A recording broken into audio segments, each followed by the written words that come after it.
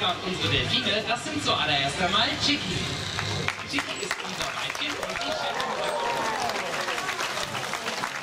Die Mutter unserer zwei Jungs, und zwar von unserem Angel. Der ist vor kurzem sieben Jahre alt geworden. Und auch von unserem Nesthäkchen, das ist der Secret. Der Secret ist der meiste von acht Jahren. Ja, und beide Jungs sind natürlich hier in der Lagune zur Welt gekommen und aufgewachsen. Ich denke, das ist einen großen Applaus wert, oder?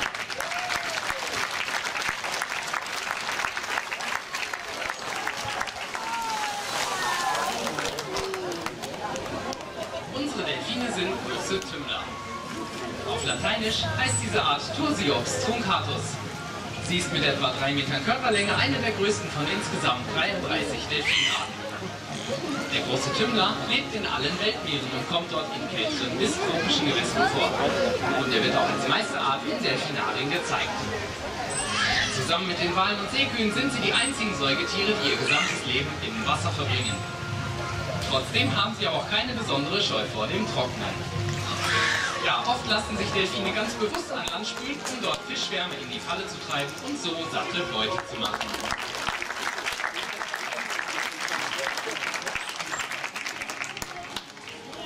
Delfine haben sich sehr gut an das Leben im Meer angepasst, was man leicht auch an ihrem Körperbau erkennen kann.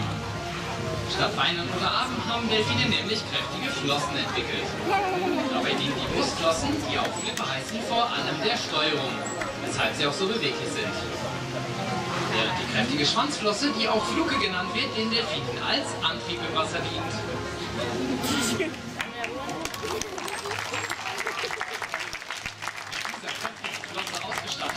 Die Delfine bis zu 50 Stundenkilometer schnell zu schwimmen.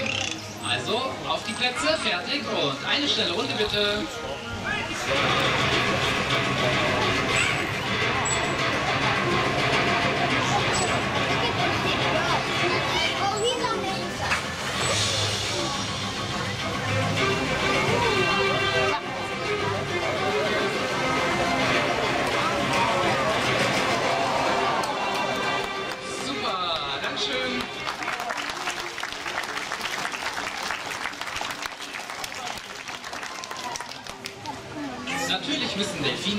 Säugetiere auch Luft atmen wie wir, denn sie besitzen Lungen, keine Kiemen. Dafür ist die Nase bei ihnen praktischerweise oben auf dem Kopf zu finden. Ja, und diese Nase nennt man übrigens auch Blasloch, weil man das kräftige Ausatmen eines Wals oder Delfins schon aus großer Entfernung hören kann.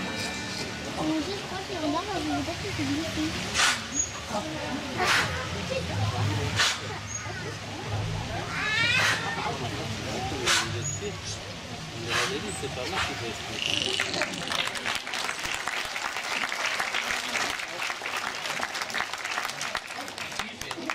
Delfine zur Kommunikation benutzen, werden alle durch das Blasloch produziert.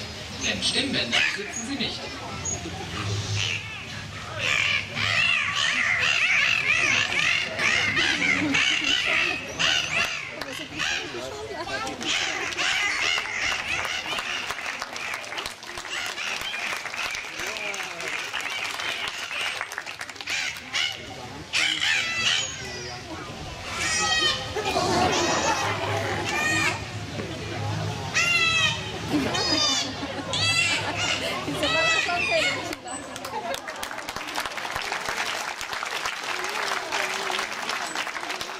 Zur Orientierung im Wasser nutzen Delfine ihre Augen, die an beiden Seiten des Kopfes sitzen und eine perfekte Rundumsicht bieten. Darüber hinaus haben Delfine einen extrem guten Gehörsinn. Sie können nämlich ultraschallhohe Frequenzen hören und sich mit Schallwellen auch ein Bild von der Unterwasserwelt machen. Also mit einer Art Sonar ihre Beute finden. Die Ohren sind allerdings gar nicht zu erkennen, denn es sind nur noch zwei kleine Löcher, die sich direkt hinter den Augen befinden. Äußere Ohren haben Delfine nicht, denn die würden nur die Stromlinienförmigkeit im Wasser stören und so das Schwimmen behindern. Schwangerschaft dauert bei den großen Tümmlern ganze zwölf Monate und ein Delfinweibchen bekommt etwa alle vier Jahre immer nur ein einzelnes Jungtier, das dann bis zu drei Jahre lang gesäugt wird.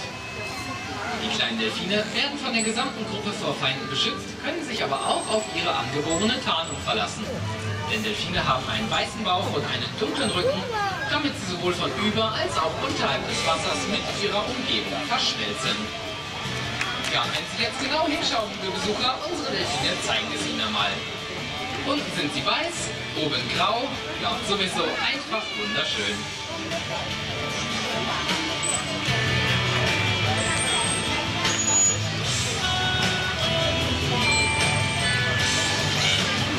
Ja, und hier haben wir nun schon drei glückliche Kinder ausgewählt, die jetzt einmal die Chance bekommen, einen unserer Delfine zu streicheln.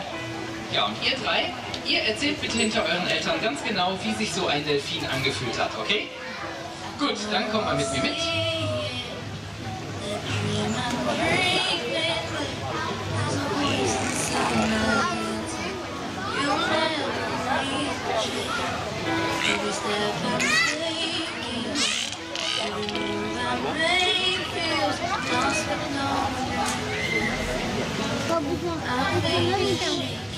Gotta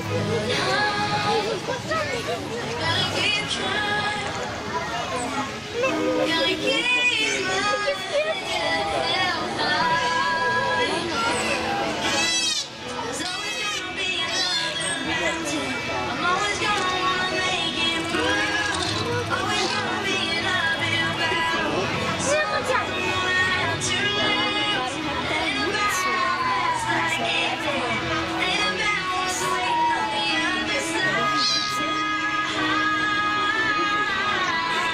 ねえか。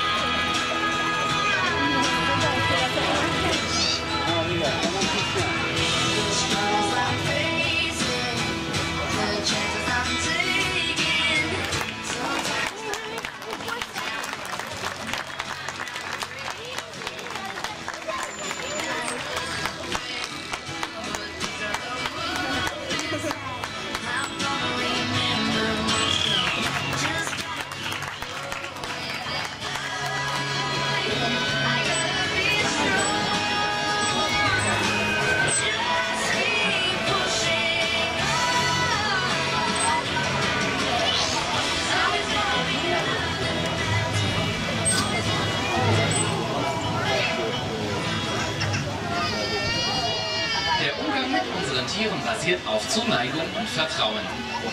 Die Delfine sehen die Trainer als gute Freunde und Familie an. Sie vertrauen uns so sehr, dass sie auch ganz entspannt liegen und sich von uns jeden Tag untersuchen lassen. Zur Erhaltung der Gesundheit ist dies sehr wichtig. Im Meer haben Delfine keine Versorgung, wenn sie krank sind.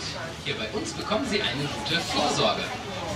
Regelmäßige Untersuchungen wie Blutproben, Ultraschall oder Atemproben stellen dabei sicher, dass unsere Delfine gesund sind. Das ist auch der Hauptgrund dafür, dass Delfine in menschlicher Obhut oft viel älter werden als Delfine im Meer.